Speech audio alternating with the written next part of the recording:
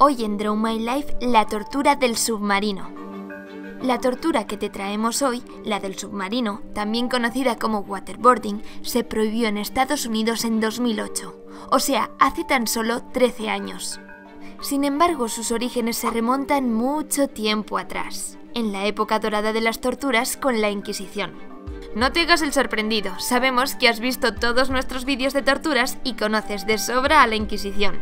Así que si no quieres que vengan a por ti, suscríbete.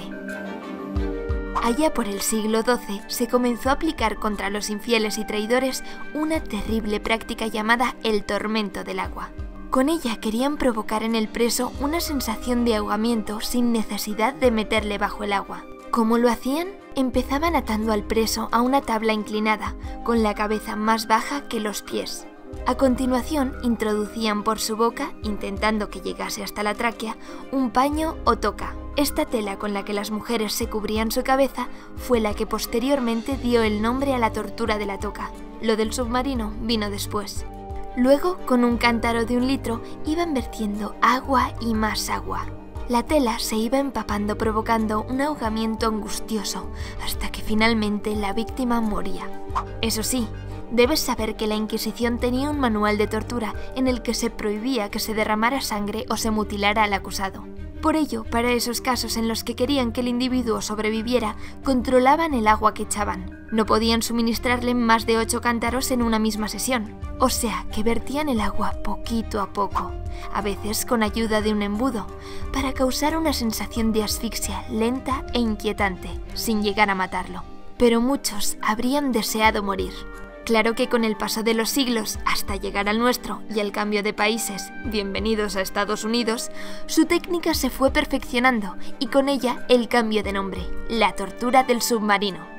Aquí ya no metían el paño por la boca del reo, sino que simplemente le tapaban la cara completa, nariz y boca, con la tela. Luego le iban echando agua, hasta que el paño estuviera tan mojado que respirar le resultara imposible.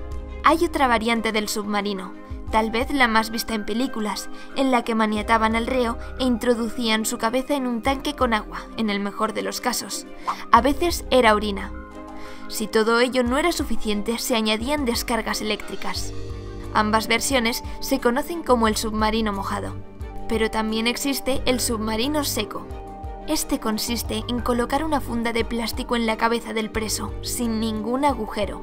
Ten en cuenta que la asfixia también emborrona los pensamientos, así que, ¿qué mejor para un interrogatorio? Pero cuando la víctima no colaboraba, su oxígeno se iba acabando hasta que moría ahogada.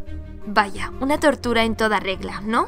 Pues bien, durante años Estados Unidos negó que estos métodos, que la CIA utilizaba en sus interrogatorios, se pudieran calificar de tortura. Se apoyaban en el hecho de que utilizaban esta práctica en un programa de entrenamiento para los soldados, para que pudieran resistir a los métodos de tortura de otros países. Sin embargo, tras los ataques del 11S, comenzaron a usar la técnica del submarino en los interrogatorios de Guantánamo con el fin de sacar algo de información a los terroristas de Al-Qaeda. Pero no era tortura, ¿eh? Afortunadamente, en 2008 el Congreso vetó a la CIA el uso de esta técnica, y en 2009 Obama prohibió la tortura en general en los interrogatorios. Y ya en 2016 se convirtió en ley. No podía haber tratamiento cruel, inhumano ni degradante en los interrogatorios pues por un momento todos esos avances se vieron en peligro con la llegada de Donald Trump. ¿Te sorprende? Para el expresidente, si la técnica tortura servía para sacar información, ¿por qué habría que prohibirla? Menos mal que al final todo quedó en nada, aunque a saber la de cosas que se hacen sin que nos enteremos, ¿no? No es la primera vez, ni será la última, que os hablemos de una tortura. ¿No te parece sorprendente cómo el ser humano se las ingenia constantemente para hacer sufrir a una persona?